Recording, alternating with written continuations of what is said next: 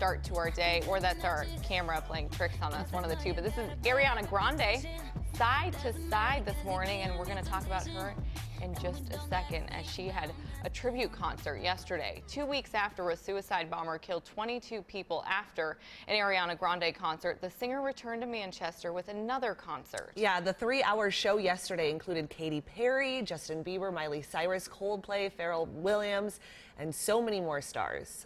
And I want to also say I had the pleasure of meeting Olivia's mommy a few days ago. And as soon as I met her, I started crying. I gave her a big hug. And she said that I should stop crying because Olivia wouldn't have wanted me to cry. and then she told me that Olivia would have wanted to hear the hits.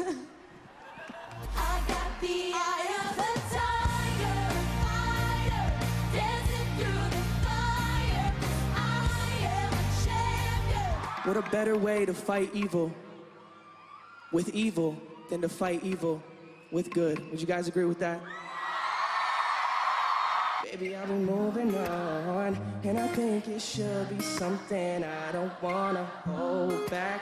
Maybe you should know that my mama don't like you. Love, love, love.